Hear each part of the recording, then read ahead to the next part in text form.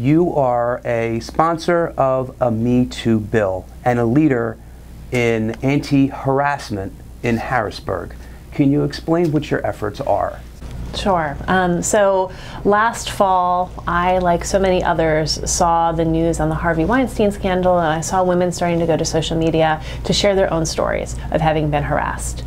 I'm one of just 42 women who serve in our state legislature. We're ni- less than 19% of the total.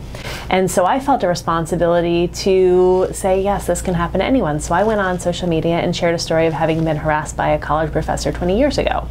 What happened next, Larry, was that women who work in the Capitol started to come to me and tell me their own personal stories. And many of them had been harassed and even assaulted by legislators, by lobbyists, by people who work in the Capitol and I needed to do something in response. So I started to look at all of the legislation that had been introduced in other places.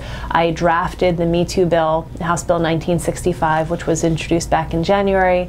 I met multiple times with all of the stakeholders that support women uh, who are survivors of sexual harassment and assault, and we introduced the bill. This bill, as we speak today, has been sitting in the Labor and Industry Committee for over six months.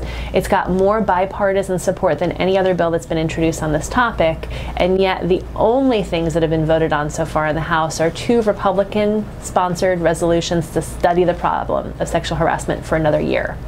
Um, there have been 25 bills introduced by my colleagues and I. So in June, when all of these bills were sitting in committee ready for a vote, the House Republican leadership decided, okay, we need to do something about sexual harassment. And the only things they ran were two Republican sponsored resolutions that were introduced without any feedback from Democrats and out, without any co sponsors from the Democratic side of the aisle to study the problem. We're going to use taxpayer money to create a new task force to study the problem of sexual harassment for another year.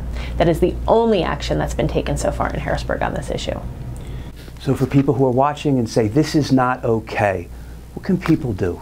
So we have called on the Republicans to schedule a hearing. The majority chairman, who's got the sole power to decide what bills run out of his committee, has told me he will hold one in September. We need to hold them to that. Um, we need to be calling our legislators and telling them we want a hearing on the sexual harassment bill package and we want Harrisburg to take action. You only need to pick up a newspaper in any part of Pennsylvania right now to read a story of another legislator accused of harassment or improper improper use of taxpayer funds to pay a secret settlement. Um, one of our colleagues up in Berks County paid out almost a quarter million dollars of taxpayer resources on a secret settlement that I didn't know about until I read it in the Philadelphia Inquirer.